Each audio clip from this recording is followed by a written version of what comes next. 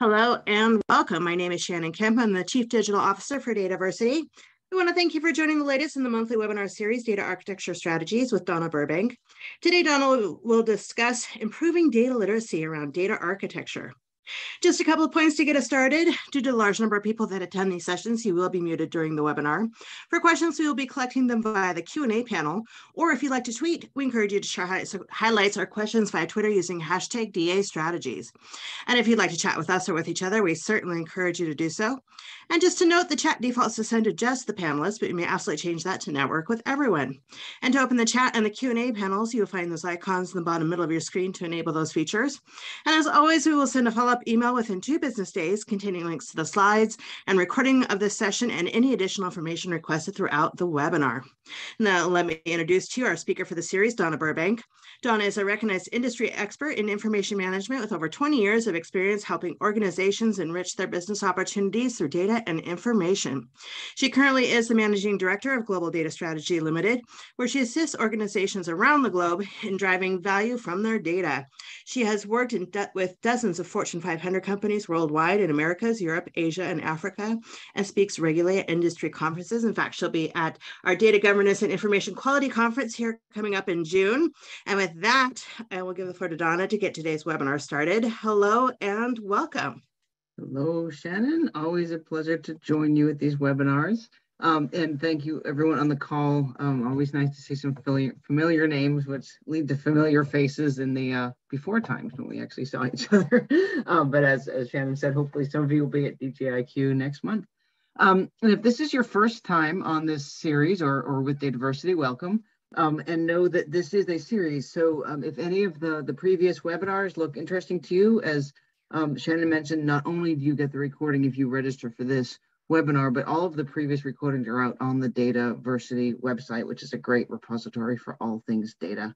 Um, and if any of the future webinars are of interest to you, please join us again. Uh, often folks, uh, again, seem to, to, join us month after month, which is, is great. Um, and, and next month's topic on BI and data analytics in the architecture behind that actually ties in some ways nicely to what we'll be talking about today, which is data literacy around data architecture. So let's, without further ado, jump into that. Um, what is data literacy? What will be what will we be covering today? Um, so, you know, hearing more and more about data literacy. A lot of uh, companies are including data literacy as part of their change management, organizational change management campaigns, part of their data governance, part of their just data, data analytics. Um, and I think a lot of that idea of you know the citizen data scientist or, or self-service BI um, is really showing that need. You know, just in general, as more companies want to be data driven, we need to understand what data is. Um, and so um, that's been a lot of the focus of how do we get the business up to speed on on data. Um, but I would also argue at the same time, technical roles need a strong data foundation, which we assume, but maybe should not.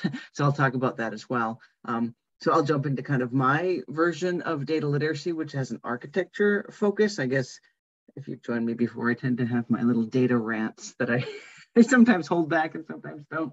Um, no promises today. Um, but I guess one of my mini rants is, is when there is talk of data literacy, it, it tends to be on the focus of analytics in BI and do people know how to read reports and create their own reports and things like that, which is super important and super, um, you know, a, a, part of data literacy. That is an aspect. Um, but I think some of the core fundamentals of data quality, data architecture, data management, uh, the good old DAMA book, if people are familiar with that, are equally important and, and really will help the reporting as well. So you kind of kill two birds with one stone. Um, so the need for data literacy. So I've kind of pointed to this survey and, and, a few other webinars as well. And again, this is also available on the Dataversity site and, and Shannon's team usually sends this out as a link on, on the follow-up, but um, some interesting stats that I think fit nicely, some data-driven aspect of this that, that fits nicely with our topic today. Um, so if you look at the, the survey results from last year, which is 2021, um, about 40%, so almost half of organizations, when they list of some of the, the issues they're facing, cite, you know, collaborating between business IT as a major impediment to being sort of data driven, which to me ties into data literacy. What I find even more interesting and, and heartening, because I'm a fan of data architecture, is that over half of, of the respondents said that part of this collaboration was improved using a defined data architecture. That might not jump to mind when folks say we need to be a data-driven organization and have better analytics and how do we get business, you know, more involved in data is to jump to data architecture. But hopefully by the end of this webinar, you'll see that some of the tried and true tools that we use in data architecture are a really nice way to communicate between business and IT and, and really set that foundation for data literacy.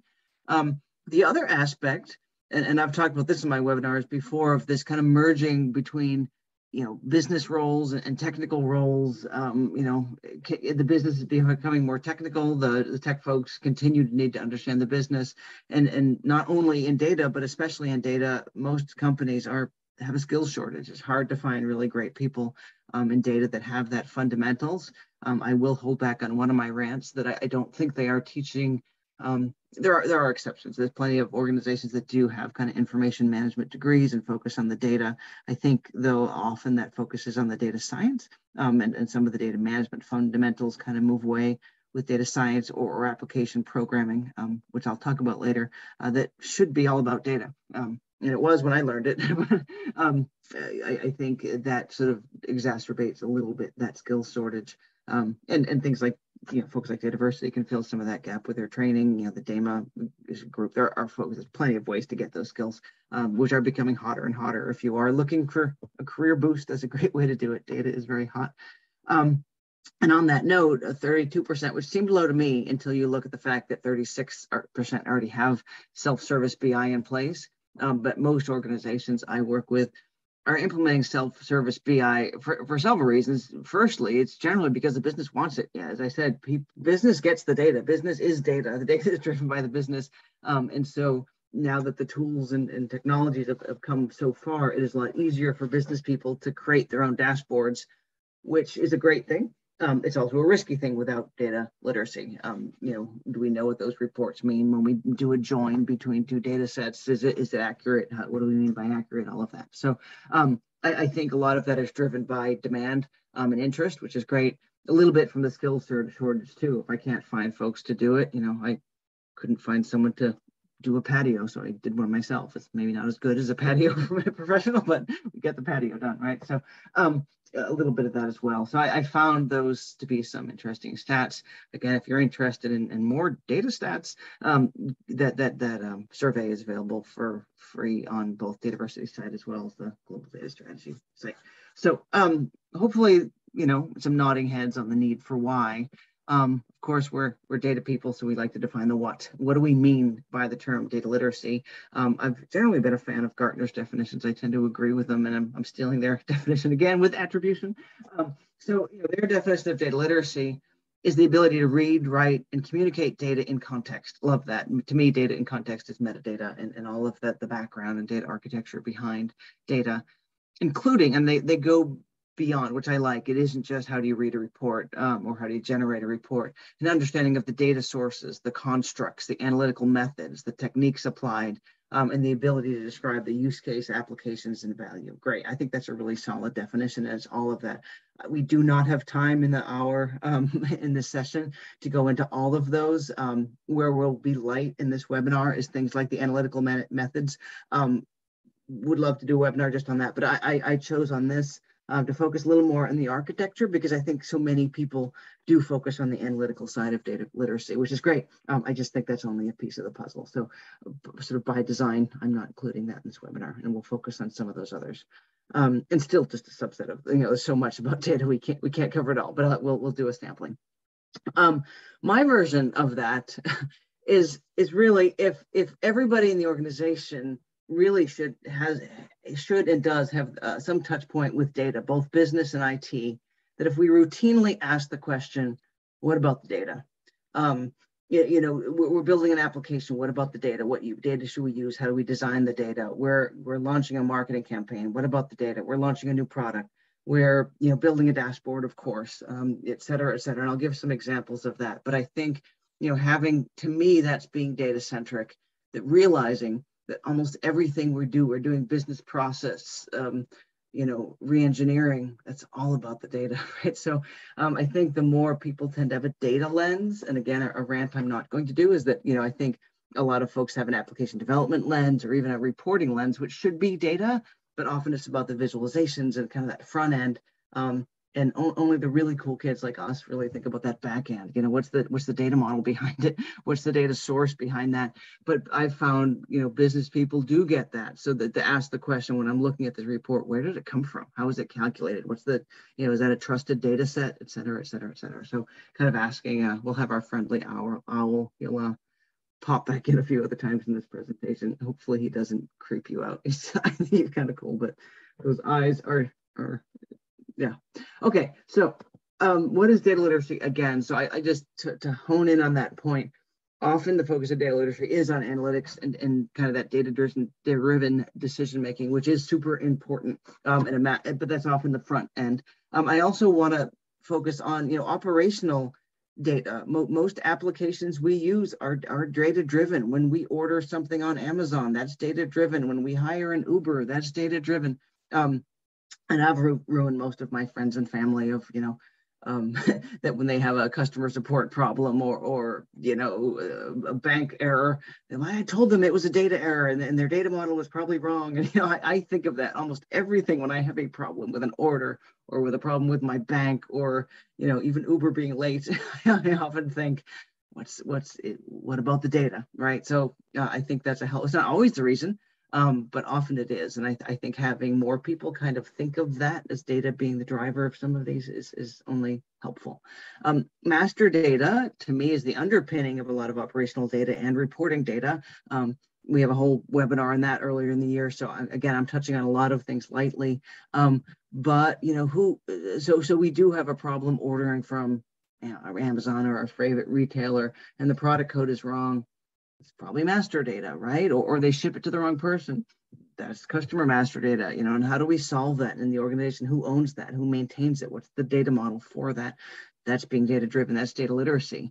Uh, I think the fact that people realize that it's a data problem, um, not necessarily a problem with the app or a problem even with the business process. Maybe it is, um, but that all relates to the data. Um, application development, again, critical portion of software development. I don't know why that is. I mean, I grew up in software development myself. Um, to me, it was obvious that designing the data and the data sets are kind of that reusable component that stays behind uh, um, beneath the applications. Um, it seems like a lot of app devs don't seem to think with a data focus, or they'll they'll code things in the data that could be in a database, or et cetera, et cetera. So, um, you know, uh, I think having a data-driven application development lifecycle will also be super valuable, so that there aren't separate camps where there's the data team and the app dev team. It should all be one team. It's all one business, right? Um, and more. I mean, that these are just a subset. I'm, I'm sure you can think of examples yourself, and, and, please feel free to do that in the chat as well. Um, anything that affects data, or you know, things we might even suspect or have a data, you should ask that question: What about the data? Remember our little friendly owl. That's kind of a maybe a fun way to think about it. Um, so to go through some examples of that, you know, having started with it's not all about the analytics. I will start with the analytics because that's a or the reporting. That's, that is accurately a big part of that. And of course, when you look at a report, I hope you're thinking, what about the data? Where did we come from? Um, but I, am just assuming, um, and well, recognizing some of the names on this call, um, typically there tends to be a high percentage of folks who are in data management of some sort, data management, metadata, reporting, analytics. Um, so I think a lot of us get that. But I think when we talk data literacy, part of that's having that when we talk data-driven culture. I know that's a buzzword that you know maybe is overused, but are we even using dashboards? Um, and not to pick on, on, on sales, but often it is, you know, we could come in and tell sales, you know, we could tell you how to better target your customers and sell more widgets. And they say, you know, thanks, kiddo, but I've been doing this for 10 years. I think I know my customers. You can't tell me anything I don't know. They could be right. We can learn from them. Um, but you know, can we get folks curious to see? Can we understand revenue trends by year? Can we, you know, eat that may be the basics to, to understand what's our total revenue by product. Are we thinking in a data-driven way, if we look at that pie chart um, on the left, so many things. You could I could spend an entire webinar. Don't worry, I won't. An entire webinar on this one chart with all the questions we could ask in terms of data literacy. One might be: Is a pie chart the best way to um, show this data? Maybe it is in this case. Maybe it isn't. That might be a good data-driven data literacy. That data visualization. It could be data literacy of when we have widget one and widget two and super widget pack what's in a widget pack? How do we define a widget pack? Are we double counting our widget ones and widget twos in our widget pack? And is that even an accurate bar, bar chart? We don't know. Um, it could be things when we say sum of total revenue by region. What do we mean by region? We have EMEA, we have North America, South America. Um, is Mexico in Latin America? Is that South America? Is, is North America? How do we even mean? And then I, I see region NA up top. Is NA North America? Is that not applied? NA not applicable? Again, should we have some metadata and data standards? There's so many so many things here. Are the dollars there US dollars? Are they Australian dollars? You know, a lot of info here um, that could be understood. But even the fact, are we using these dashboards? Um, and generally, uh, once a company becomes data driven, you know, the problem is we have too many, but there are still organizations where people resist needing a dashboard like this or even having these dashboards in a meeting or back to kind of the Gartner definition, when you're in a meeting asking where did that data come from? Um, are we using the trusted source? Is this your total revenue by year that looks really good? Um, does that match the company's um, revenue by year? Uh, or you kind of you know tweaking the numbers? Who who doesn't want their own spreadsheet to kind of uh, make the story sound good, right? Um, but even better, you know, this is sort of your your ba- your basic table stakes here of, and I'm not discounting it, um, you know, to get the basics of total revenue by year, by product, by region. We're still working with some of the in our in our consultancy, some of the biggest companies on the planet who still have trouble getting those numbers accurate because it's hard even to get something as simple as total revenue by region by product consistent across the globe across a large organization um, so not discounting that um, but again that should be the basics. And then how can we again be data driven and integrate advanced analytics into the size you know predictive next best best offer? Can the sales rep get kind of ai driven or machine learning driven you know suggestions into their inbox of the best uh, customers to target based on historical patterns and things like that? Is sales starting to ask that? Um, which again i'm i'm often on the on the back end side of this, the techie side, uh, but work with a lot of business folks, and that's both a good and a bad, right? That that the business is starting to read the articles and start to ask for things like, can we do this? Can we do predictive? And too often, unfortunately, we have to give them the bad news. Well, the data quality isn't good enough. Love to be there too. Um, but not always. Um, often there's stuff we could be doing that the business comes up with of, you know, you know, I have this great idea for a, a, new analytics use case to be more predictive, to be more data driven. That's what you want. And that to me, that's a data driven culture. Um, you know, the, the flip side of the cousin of that or whatever, the, the way you get that data right is that data governance. You know, how do we define total revenue? You know, what countries are included in South America or Latin America? Um, you know, data quality, that should be a, a question that anyone who's data literate should look at this and say, can I trust the numbers? Where did this data come from? What are those data sources? Um, you know, is that master data? Is it someone's spreadsheet, et cetera?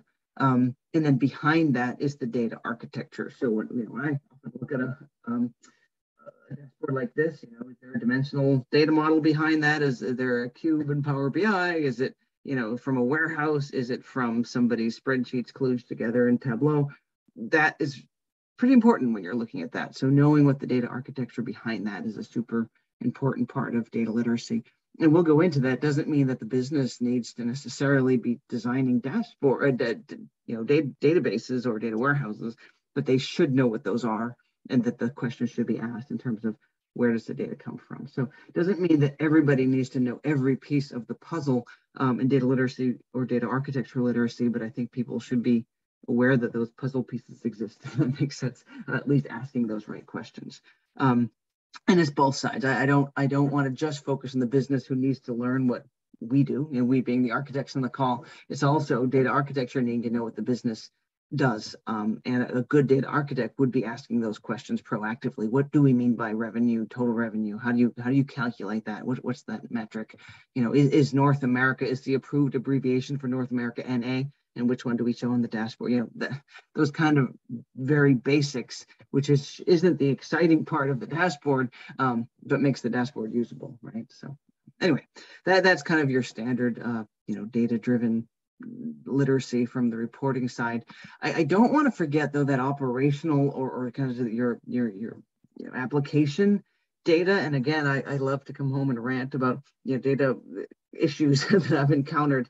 Um, and often it is on something like an order form. And, and do we even have an order form or is there some other data-driven way to support that customer journey or patient journey or, journey or student or citizen or, you know, so many uh, companies are really looking to be data-driven. And is this the best way to order? Or could we assume from historical buying patterns that they always buy more light bulbs in May and we can proactively put an order and suggest that they do that, right? Could we make an, an order form obsolete by being more data driven. You know, there's so many things we can think of um, being that data driven. To me, that's data literacy. People understanding what's possible, and not you know realistic, and then coming up with more data driven ideas. But there's also that basic, you know, do, is the how do we get the data in a form right? And I, gosh, we've been doing this for dozens of years, and we I still the one I love to share in the in the perpetrator will remain nameless, but I was I was registering for a data quality webinar.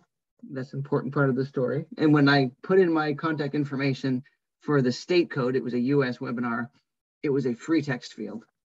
I know that's not funny, probably to anybody, but and not anyone outside of the data world, but a, a list of states, a list of the 50 states in the US should absolutely be a drop-down list where if I'm from Colorado, it's CO and there's no other choices because what's one of your classic data quality issues? Um, you know, is it CO? Is it Colorado? Did I mistype it and say CX, which isn't a valid value? All of that. It's not the sexiest part of data management, um, but that has to be right because if I'm trying to say what are total sales by the states in the US, if I say CX instead of CO, they're not going to get my sales. I, again, not exciting, um, but we all have to realize that that's a key part of data literacy. Um, and then who owns that? Who owns the you know the the, the drop downs that are shown. Um, but again hopefully we get that kind of table stake stuff right know, that we have a, a drop down. If you look at the list of products we have widget one widget two widget two spelled wrong or is, is that a new product with two g's that's called the widget? Um, or did someone spell that wrong? And you know how do we know what product and get the right price? I, again i don't want to belittle that because you know a large part of my business is helping companies get that right and and it's it is complicated to get the basics right um, but once you do get the basics right, the, the upside is so valuable. Um, can, can we do predictive analytics? You know, customers who bought widget one also bought thingy X. Uh, you might like thingy X as well. Um, so you know, there's so many um, pieces that you could be much more exciting uh, than just a, a standard form. Um, but part of that form, who owns the customer onboarding? Do, do, does a customer fill this in? Does the sales rep fill this in for them? If so, do they know all the information? um, et cetera, et cetera. Um, but that's a big part of, of data governance and getting data getting data right. And to me, that's data literacy. Um, where do we source the product master data? Or is that widget information right? Does the person building this form, who might be an application developer, even know that there's a product master that they could pull from for that dropdown? You know, that's a again part of literacy, just that communication. Um, the other part of data literacy, I think, is data governance, data privacy. Um, do you want to be included in our mailing list? Um, you know, uh, do we know the regulations from our country and other countries we're working with? Um, and, and, are we going to every application developer, every database developer, anyone building reports or anything we, with customer should be very aware of that. That's not just a business thing. Um, the, the, IT needs to understand that as well. And uh, again, if we're paying attention, there's there's huge companies in the news practically daily um, who have you know kind of had breaches like this and, and, did not think of how we should be using the customer data that we have. Um, but you know what about the data? How should we be using that? Um, so um, you know the other thing is data architecture. What's the data model behind this application? Um, a rant i like to have is here you'll just see that it'd be a first name you know family name address. Is that my shipping address? Is that my billing address? Um, something as simple as a customer can have more than one address. Uh, again, these sound really boring, but we're working with three companies right now. So one of their biggest issues is, you know, getting that proper address. Is it shipping? Is it billing? Is it for the right contact?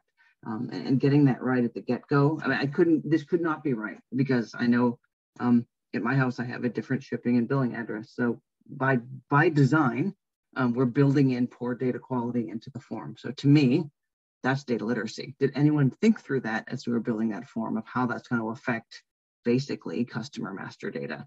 Um, and is that in the DNA of the business that whenever customer master data is being entered, reviewed, um, et cetera, um, we have that in place. So hopefully those are two helpful examples from both kind of your standard analytics as also kind of your more operational form-based um, information. So um, moving on, um, I do want to stress that, and, and I have that that uh, data literacy is both on the business side and the IT side, and I think it's a little bit um, different for both. And I would posit that data um, architecture can really improve and, and be a good tool for that communication. If you remember those um, analytics in the beginning, the, the, the metrics, you know, over 50% of companies using data architecture found that it really helped with collaboration. So, you know, for the business, what are some, and this isn't everything, of course, um, areas of data literacy? You know, how do we define a measure? What's a proper way to define a good business rule or calculation rule around total sales or you know total profit margin? And, and often, um, fo- folks kind of have that. Do we know how to, you know, but do we know how to do that across across areas? That's a key, key part, yeah, key part of governance. Um, how do we how do we get the right business rules around data quality? If we're looking at data quality, how do we how do we quantify that this data is right and what does good look like and what is fit for purpose and what is this is fit for purpose the same for all types of data? That might sound technical but that's something that should be in the dna of the business. You know this is my, my customer data. It needs to be accurate within you know one business day uh, these are the valid values, et cetera, et cetera. Governance, privacy, accountability. Again, you don't want to be the ones in the news. um, and, and that should be top of mind for any, any business person. You know, data sharing agreements. If we have data, you know, data monetization comes up a lot. What are we allowed to share? Um, but even just sharing across industries. Are, are we going to have open data? Are we going to publish that? Or do we have partners we want to share data with? And, and there's several sides. There's the legal aspect of what we want to share, the privacy aspect, and also just the data format. What are we going to do? Do we have a common data model? Are we going to create a consortium, consortium to, to create a data model? You know, a lot around that. Um, happening more and more. Um, also understanding those basic use cases for, you know, I gave some examples before, you know, analytics, AI, machine learning, BI, analytics, it's automation. There's so many there I could list. Um, again, that's both a blessing and a curse when the business comes to IT and says, you know, I read an article on, you know, self-driving cars. Can we do that for here? You know, yeah, it was a bad example, but I, I think knowing what's out there, but also knowing what's realistic for the, the data at hand within the organization helps the conversation both ways. Because the business, you know, maybe IT will push back on me, but the business often and should have better ideas on how to optimize the business with data because they're doing the business, right? Um, they may not know how to implement it, uh, but giving them the right tools to be able to think correctly about what the art of the possible um, can definitely help. Um, basic BI skills for self-service, uh, again, blessing and a curse, but A, when it's a good idea to create your own report, when is a better idea to, to use one that's out there, um, but if we are creating our own reports, you know, how to do that and what are some of those basic reporting skills uh, to do that, et cetera, et cetera, et cetera. But th those are some of the common ones, um, or maybe not so common ones that aren't typically mentioned with data literacy. On the IT side, um, you know, it might sound old here, but the good old relational algebra, good old data modeling, um, you know, SQL, I, I, those are so fundamental. They're not old fashioned, they're fundamental. So I think understanding how to do an inner and outer join and things like that should be a basic part of, of anyone doing, you know, reporting, anyone doing application development. Um, really need to understand some of those, uh, you know, basic statistics, basic data science, uh, you know, again, role dependent. If you're not doing any of that, you don't necessarily need to know. But I, I, think having, just as a citizen, a basic knowledge of statistics and how information is used in the news and things is, is not a bad idea.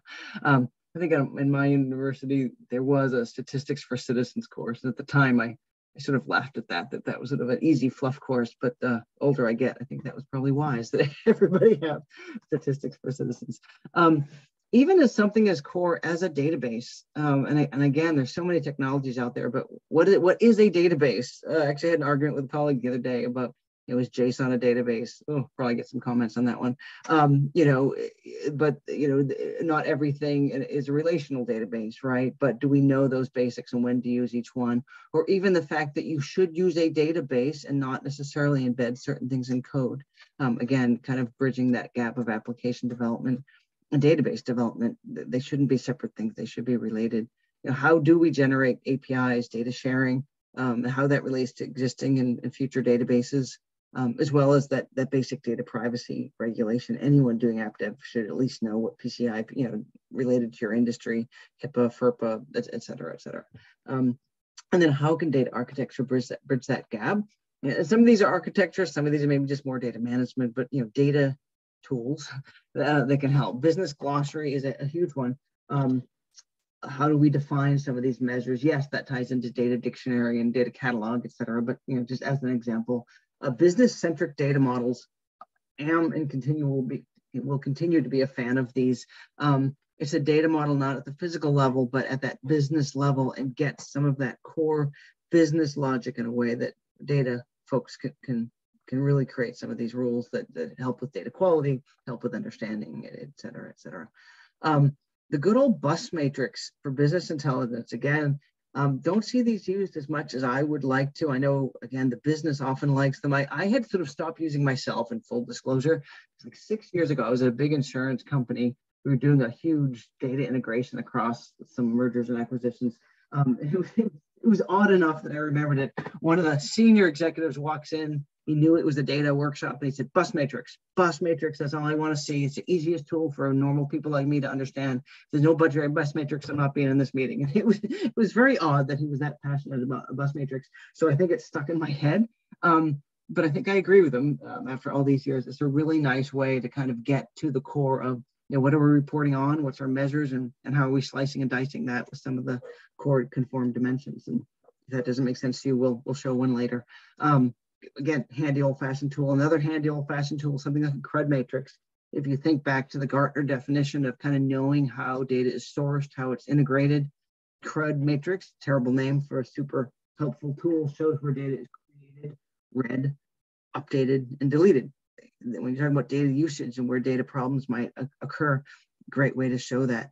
Um, I would say, you know, when we talk about things like user stories, if you're using Agile or customer journey maps or et cetera, et cetera, is that is there a data centric view, view of that? You know, as a user, I would like a consistent view of regions so I can do reporting across regions.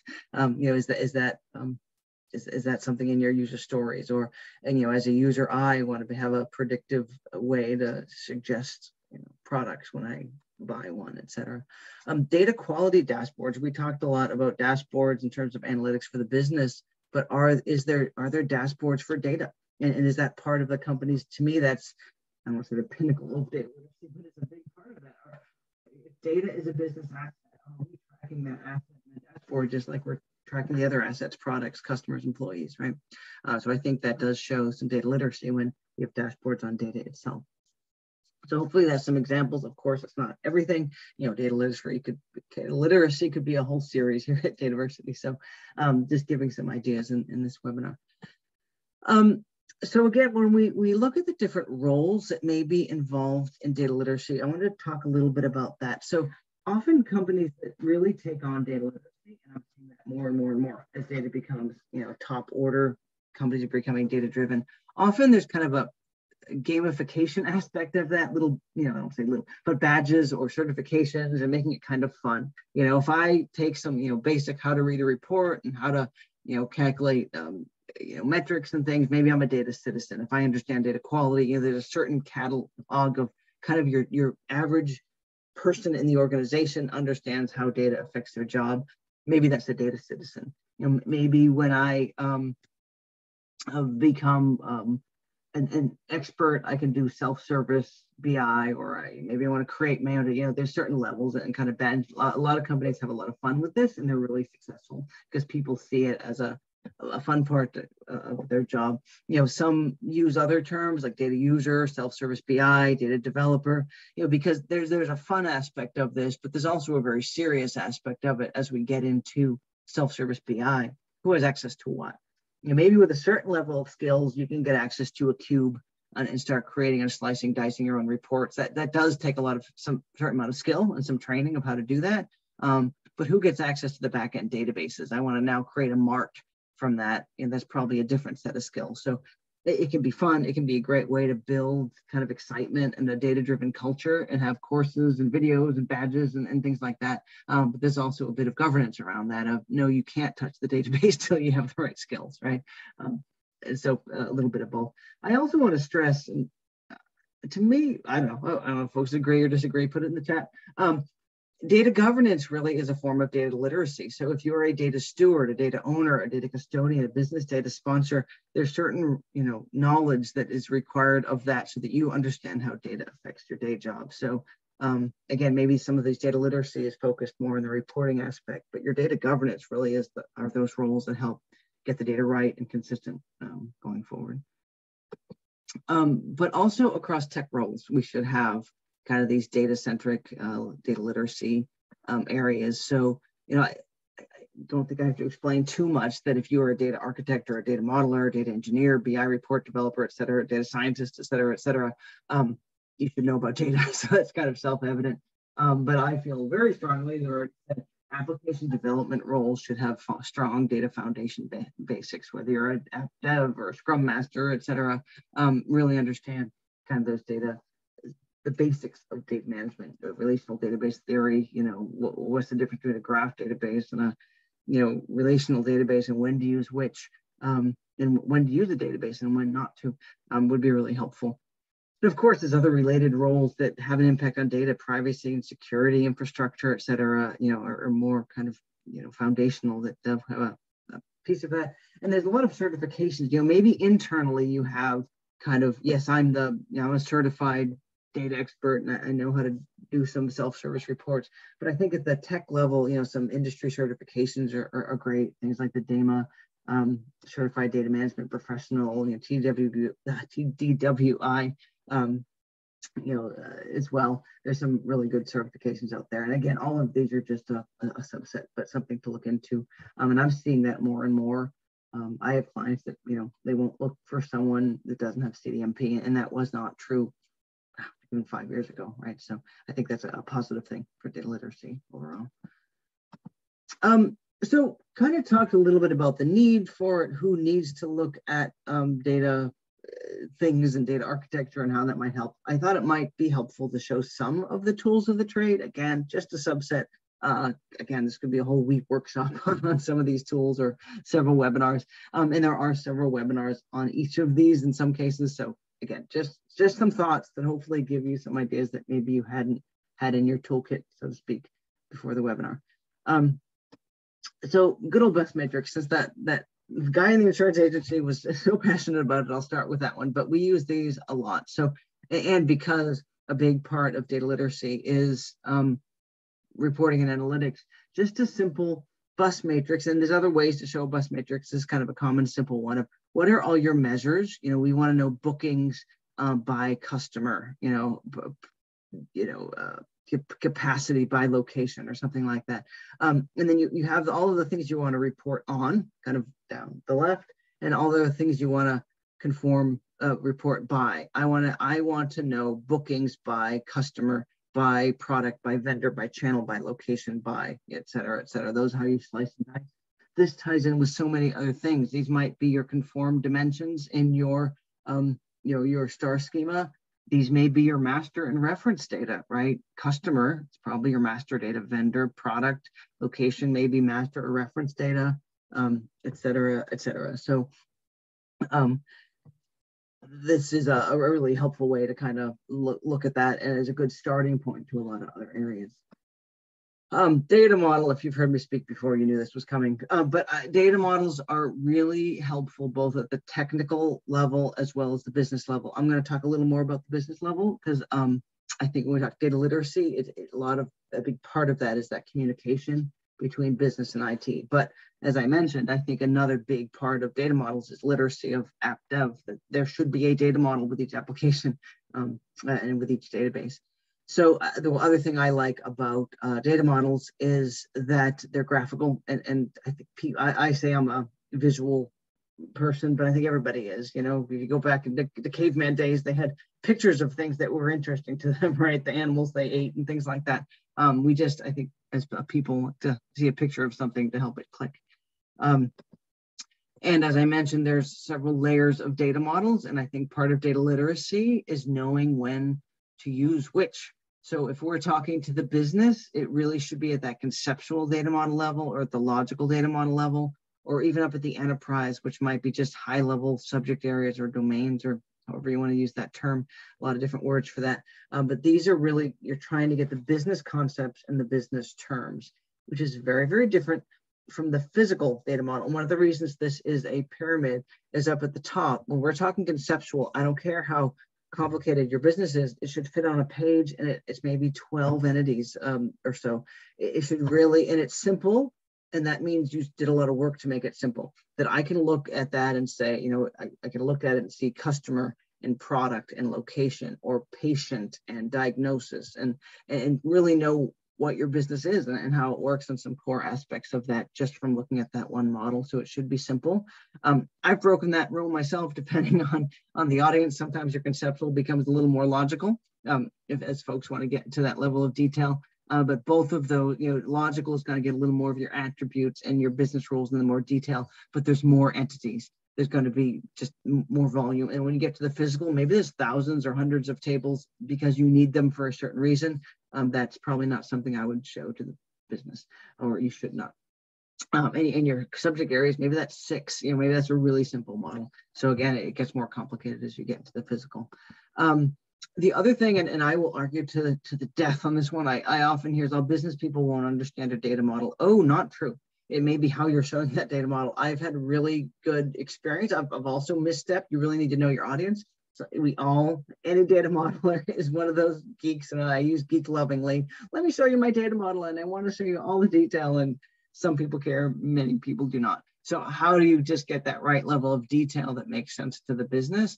But I have and do, and all the time get very positive um, feedback on data models because it's, it's a way to quickly show business rules.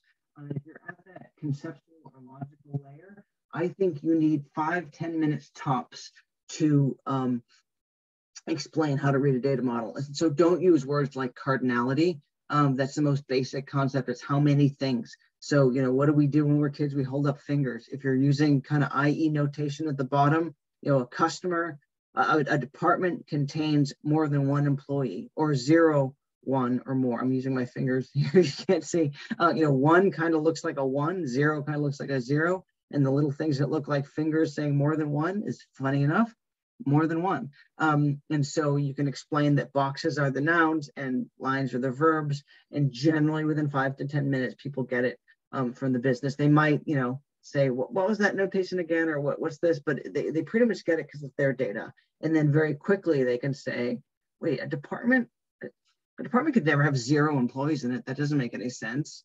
Um, and wait, uh, an employee can be more than in more than one department here. So that thingy on the left is wrong. They might not know what thingy is called or whatever, but they can very quickly tell you that employee can be in more than one department, which is a really, really important business rule and part of data literacy. So when we're talking about that, and it just happened to me, which is probably why my voice is getting all raised because I can relate to them again when I have these problems, they're data problems. I was a consultant and I had to, I was also doing product development at one of my previous jobs and I had to go on a business trip and on the you know expense form, it was what department are you in?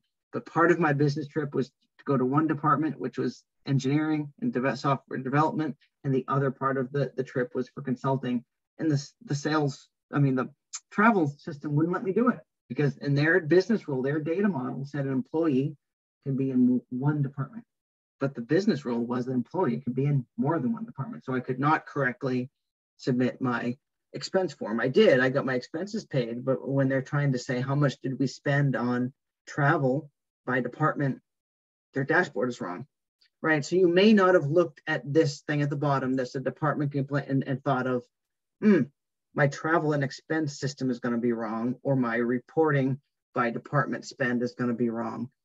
But it was all came down to a data model. So the more you can get it simple um, and get those business rules out of out of business people, the better. Um, and you can do it fairly quickly with, with really, I actually, I'm, I'm visiting family uh, in Boston this week. And I uh, asked my elderly parents, I, I, did, I took them two minutes, maybe they're smart. I said, if I explain this to you, do you get what that means? They're like, yeah, department can contain more than one employee. Like, thank you, got it, because I'm doing a webinar today. Um, so generally across the board, people do understand that. Um, so just keep it simple. Um, so having said that, avoid the the death by data modeling. And I've, I've been in these i've seen these i've seen the remnants of these um, and, and maybe in, in the day in the 90s or whatever folks got away with this but i, I don't know how. Um, where you go into the war room they'd call it and, and there'd be a kind of an enterprise logical model uh, across all four walls with thousands of entities and they would bring the business in and say you know i, I know you're super busy trying to close end of quarter sales but could we just sit in the room for a few days and you know could you start with a with a data type for account code? You know I, sorry even i would want to die after that. Um, so can, can you get that information maybe in a smaller session just saying hey can we just do a workshop for for an hour half hour? Um, and can you tell me you know is there a department code in your departments or, or whatever? And, and just keep it small keep it simple and keep it really targeted on outcome. And that's when i get you know i've had business people push me out of the way to, to start whiteboarding and want to draw the models themselves We've had, you know, healthy arguments. We've had, um, you know, folks folks go into data architecture after these because they really, you know, really see how these can be helpful. So I generally say, if done right, people people get it. Another thing, and I'll probably get some comments or, or either hate mail or love mail after this, but um, I'm going to go say it. Um, avoid technical database terms that we had two projects recently where we had some uh, arguments on this one. Um, use at a business level, which is your conceptual or even logical, I would say, but definitely at the conceptual, I'll stick there. Use the business language. It's a customer. So what don't do, and I had a, a we were in a workshop and the DBA argued with me. Um, it's not a customer, it's DB07 underscore cust. It's a customer. We're having a business workshop. Um, but she couldn't get past that fact that the table she looked at was called DB07 underscore cust or whatever it was. Um, and, and she would have lost everybody. I'm not sure why she couldn't see that that was representing a customer, um, but she couldn't make that jump. The one I see a lot, and maybe you could argue with me there if the business kind of understands and likes that idea of dimensions and facts, something like dim cust. Really, can you just call it customer? I mean, I, I don't know. I, I, to me, I would prefer to just say, you know, at, at the semantic layer, the business layer, just call it customer. Um, or and I'll probably is people are going to jump out of the screen and, and hit me. Um, I am not a fan. I'm saying it. I'm not a fan of the party model or even entity model uh, for several reasons. I, I, think again you can overly. It may be true. I, have had party-like models, um, but you should get there by saying, well, we have customers and we have vendors and we have employees and we have um, I don't know. Um, I don't know subcontractor. They all seem like a similar thing. Are they? Because sometimes they're not. I mean, you could over type things. I, I guess what is just so generic, you could just say, you know, human being, and, and, and yes, there's human beings, but there's employees and there's customer contacts and there, there's patients and they're all just very, very different things. You know, it, it's over, you could overdo it and just say everything's a thing and things have thing types and thing attributes. And you might be right, but that would be an extreme. So uh, yes, there's benefits at the physical layer, even logical layer of kind of genericizing some things. But I think definitely the business level to suss out whether that's correct or to suss out business process issues. And we're thinking of master data, right? These a lot of these parties become master data. So what is a party? What is a legal entity? Um, is it a partner? Is it a, you know, is it a, I don't know, a, I, uh, I, I can't think of my words today. Uh, subsidiary, you know, is it us? We're a legal entity. Um, so really think that through. Again, again, it may turn in that at the physical level, but I, have seen more mistakes with jumping to the party model because it's easy to model and hey, we've got a table where everything can fit in. Um, than going a little more detailed and really saying, is there a di- different process? So yes, they're both legal entities, but is there a business different business process to onboard customers versus vendors versus suppliers? Is there a difference between a supplier and a vendor? I mean, that that's the type of thing you really need to suss out. Not boring people like at the bottom with too many questions, but I think you'll lose people if you start using technical terms. Um, yeah. So anyway, we can debate that uh, at the DGIQ conference if you come. but um, anyway, I, I, think that's part of data literacy on both uh, on the IT side of understanding the terms of the business, and then you will have the business be more data literate by being able to tell you what the attributes of customer are or the attributes of a supplier.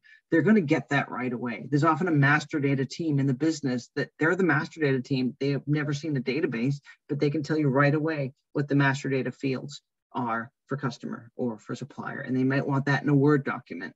Um, uh, yeah, they probably don't want to see a data model. I have at least one employee on the call is probably nodding her head because I did show a data model were like, no, I can I just see it in a Word document? And they were right, and we did. uh, same information just showed in, in, a format that they they understand. So um, again, think of that because it's all the same information. Just are, are we showing it in the right um, the right way?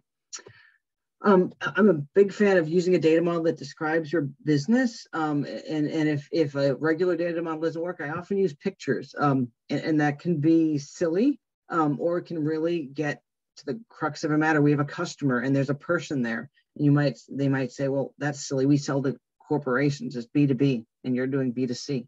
Um, that right there could have a huge error. You know, product, we have a product in a box. You're like, no, we're an insurance company. Our product is a insurance product. Uh, so take off the box and, and put a piece of paper there, um, et cetera, et cetera. So had a lot of success with really, if nothing else, it, it starts to get people to understand what you're talking about. Um, I, I, mentioned this when I was talking about the, the party model rant um, of, of um, linking business process to your, your data. Um, you might think, is that data literacy? I think so. How is data used across all business processes? Who owns it? um, who's responsible for it how is it stored is it stored consistently um, gosh i would say almost to a company that we work with everybody's having this trouble because you know the, the first order thing is to get the business process right or to sell more widgets right but do you ask the question what about the data when you're setting that up and if you ask that question and maybe just pause for a bit um, a couple success stories we won't have enough time for in this um, unfortunately but um, we had one we worked with a nonprofit and surprised the heck out of the vendor of when they were starting um, their their the new software application. They asked to see the data model. Uh, and the vendor said, really? That yeah, we're not buying it until we see the data model. We need to know that it can either be customized to match our match our master data, um, or it's close enough that we can we can work with it because we have a really strong master data process. And the vendor did. They say the data model ended up working, um, but it, it, you can't always have that flexibility. But is that question asked? you know, how when we buy an application or create a process or, or do whatever, what about the data? Our, our little owl there, friend. Um, and then and then for uh, things that already exist, what's that cust you know CRUD matrix when um, what, what data is touched when we receive an order or fill an order or send an invoice. Um, really kind of understanding that is a huge part of data literacy that again is often overlooked more. we kind of focus on the analytics, but this is the stuff that feeds the analytics and really needs to be right. Um, and on that note of it being right, um, again, this this is a whole webinar that we're having later in the year, so I won't go into this. Um, but we don't want to over nerd out on this if we're a person on this call. Um, but understanding that data quality isn't just is it right? What does that mean? Is it if it's not right, why isn't that right? It's, it's not complete. We don't have enough data. It's not consistent.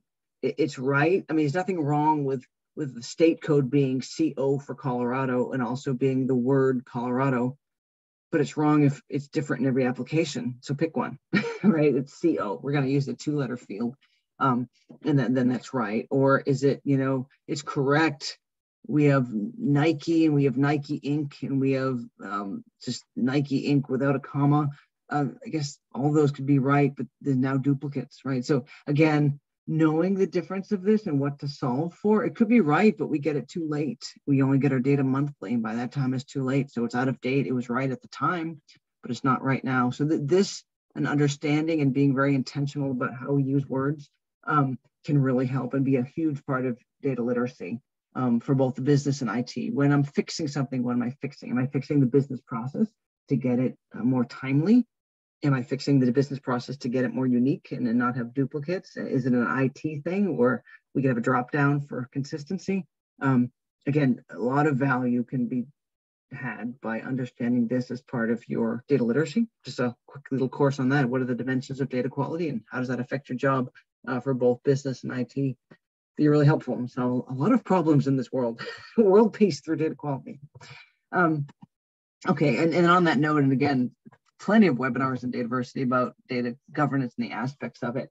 But I would argue that data governance is a key foundation to data literacy. It builds that data culture, the communication around it. How do we get the right people in the right place? How do we get those right data management measures, the processes, and, and getting the right tools in place to really manage this? So again, Canada should be a, a full, this could be a whole section on data literacy about what data governance is. Uh, but I, I, think that really helps kind of create that framework to keep uh, data literacy going. So I do want to have time for questions. So um, in summary, data literacy should be an increasing concern because data is an increasing concern. We need to know about it. Um, it's both a business and IT thing. It goes beyond analytics and is really a part of everything that touches data. Um, and architecture provides some really helpful tools to communicate and, and hopefully fix some of these problems. Um, if this was of interest um, and you want to hear more about analytics and data and BI, because I, I, didn't go deep on that today, we, will have a session next month um, just on that. Other blatant plunk, we at Data Global Data Strategy, my employer does this for a living. If you need any help on data literacy or data architecture, come find us. And with that, I oops, I will open it up to questions and pass it over to Shannon.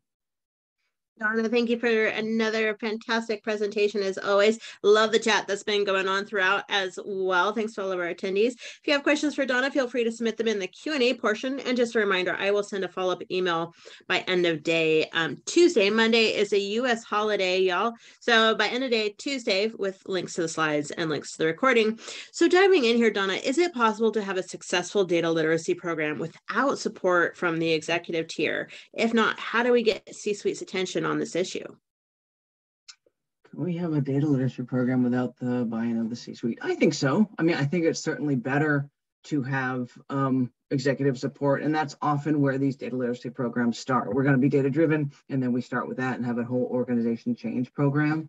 But I think it also, I've seen it really successful from grass, grassroots. It could be lunch and learns. It could be even for your own staff, having some data courses. Can you make those into little videos and just make them available to other people? Um, we had one BI analytics table back in the day when people actually were in the office and they had kind of a booth at lunch of, you know, you want reports, you want to understand your reports, come to us and ask questions. Um, yeah, I think there's a lot of ways you can be grassroots and be, and, and you're kind of helped, even if your management doesn't understand it, the industry, the, the world sort of does. Um, so maybe, maybe something as simple as that, some little videos out on your, your company sites um, and, and, and just have them available to people. And then they, then you can go to management and say, you know, we put out a data quality video or a self-service BI video and it was viewed by a thousand people in the company. Could we now get some funding for more? Or, you know, so I don't think you have to, I think it's great to have executive buy-in, but you certainly don't have to wait to get anything done without it. Hopefully that helps. Perfect. Indeed. So is it true that data architect positions are coming up more now in the job market due to the rise in data governance programs? Um, well, yeah, I think that's I think that's fair. I think anything with data in front of it is is a really good thing to have on your resume. Um, I think data governance, the rise in data governance, people are really getting data architecture. Um, yeah, I've seen some folks uh, come out of retirement that um, the demand was so high that they, people are really looking for and, and I would say pure data architect. I mean, I think for a while we were sort of the hidden heroes. We would be a, a data something else, and we were doing data architecture. But I have I, have several customers with open job descriptions they can't fill uh, for the role of data architect, and I am seeing more roles that are literally just called data architect, um, which is maybe that's the next the sexiest job of the next century or next decade. so yes, I am seeing that. And where do you see the break um, over the uh, over for incubating data wizards that understand the data model and can use it without fail versus something you know kind of dummy proof like a drag and drop reporting model that end users cannot get wrong. I struggle with end users becoming literate in catcher in the rye versus literate in the little engine that could. Um lot to unpack in that one. Um I mean, I think a good data model can help uh, folks that aren't aware, or a good cube, you know, think of it that way. Your data model kind of, you say your dimensional data model turns into a good semantic layer cube, um, can help people drag and drop without error. And if the, that's a lot of part of that hard work to make it easy for folks. Um, I do think there's that. Not, I might have misunderstood the little engine that could analogy, but I, maybe I'm going to put in my own take here. We're working with several companies where people just get so, and it's not out of malice. It truly, I've, I've talked to these folks. They're so excited about data, and they come and say, "Look, we built this thing. Look what we built." Um, but they really should have. it's a good start, uh, but it's not going to scale. And, and again, it's me trying to build the patio in my backyard that a real professional would kind of laugh at, which is fine because it's my own backyard. But if it was an enterprise, probably wouldn't be so fun. So, so how to channel that positive energy in the right way. So, you know, either putting the guardrails in place. Here's the cube. It's published. It's validated. I know a lot of data catalogs now have kind of little. This is validated, trusted data, which goes a long way. Um, or if people are that eager, get them into the great. This was really, really good. We'll get you now into the BI course so you can do even better. You know, don't, don't curb their enthusiasm, um, but you put guardrails in place uh, make it easy to do the right thing by having trusted data sets and then providing the education to turn that passion into knowledge so they can do it right next time. Hopefully that helped. Uh, indeed, and perfect timing we, brings us right to the top of the hour. Donna, thank you so much as always, and thanks to our attendees for being so engaged in everything we do. Just love it as always. Uh, again, a reminder: I will send a follow-up email by end of day Tuesday because Monday is a U.S. holiday, uh, with links to the slides, links to the recording as well. Thanks, everybody. Hope you all have a great day. Thanks, everyone. Thanks.